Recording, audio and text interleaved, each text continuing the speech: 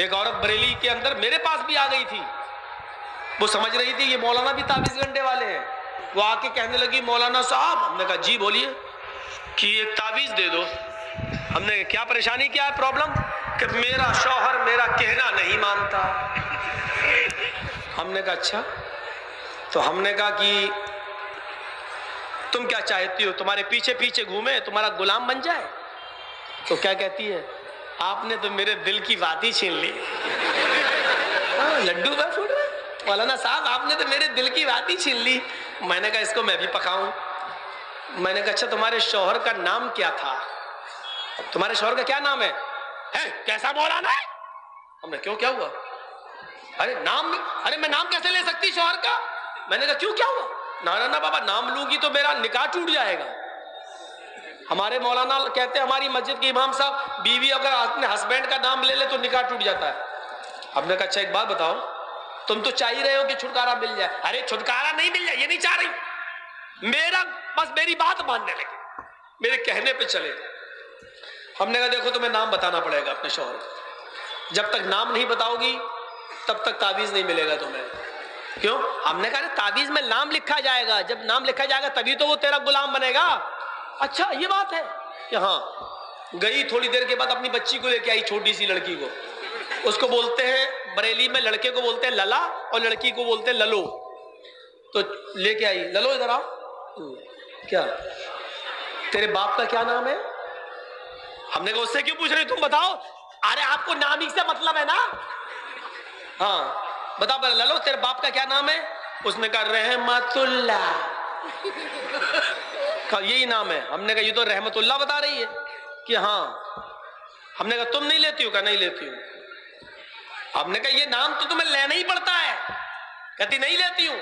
हमने कहा, इसका मतलब तुम नमाज़ नहीं पढ़ती हो? कहा, नमाज़ तो पाँचों टाइम की पढ़ती हूँ। हमने कहा, उसमें तो नाम आता है। कहता, नहीं, कहती, नहीं आता। हमने कहा, अरे, सलाम फेरती हो कि नहीं फेरती हो? जब सलाम फेरती हो सलाम वालेकुम रहमतुल्ला तो आ रहा ना रहमतुल्ला तो कहती है कि सलाम फेरती हूँ नाम नहीं लेती हूँ। ऐसे ही बोले असलाम वाले रहमतुल्ला वो नाम जो आता वो नहीं लेती हूँ। हमने कहा, उसकी जगह कुछ कहती हो? कहा, मैं यही कह देती हूँ अस्सलाम वालेकुम ललो के अब्बा। इधर सलाम फेरती हूँ तो इधर कह देती हूँ अस्सलाम वालेकुम ललो के अब्बा। मैं मैं नाम नहीं लेती हूँ। और उसने इतने एहतियात से बोला कि उस वक्त तक नाम ही नहीं, ललो के अब्बा। हमसे भी कहती रही, उसके मुँह से निकला ही नहीं रहमतुल्ला और मैं निकलवाने के चक्कर में था, लेकिन मैं ही हार गया, वो जीत गई। ये हाल है। तो बताओ, ये सूरतें हो गई कि वो अपने गुलाम बनाना चाहती हैं? मेरी बहनों, मेरी माँ, मेरी कौम की बेटियों, शोहर को गुलाम बनाने के बाद तुम कभी कामयाब नहीं रह सकती हो। कितनी बदनसीब है वो औरत जो अपने शोहर को अपना गुलाम बनाती है और फिर गुलाम की बीवी बनकर रहती है। ये औरत के लिए कितनी बड़ी इंसल्ट की बात है। एक औरत अपने शोहर को अपनी उंगलियों के इशारे पे नचाए और ये सोचे कि मेरा गुलाम है और पूछे, किसकी बीवी है? तो फला साहब जर्जीज की बीवी। ये ऐसा लग रहा है जैसे ये किसी गुलाम की बीवी अपने शोहर को गुलाम बना के रखती है और फिर गुलाम की बीवी कहलवाती है। तो ये कितना, कितनी इंसल्ट की बात है।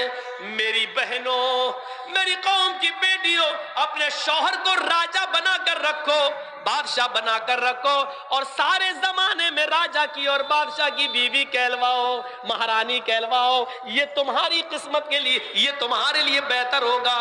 बजाय इसके कि गुलाम की बीवी कहलवाओ, राजा और महाराजा की बीवी कहलवाने में तुम्हें फख्र होना चाहिए। मेरा शौहर तो मेरा बादशाह है और मैं उसकी रानी हूँ।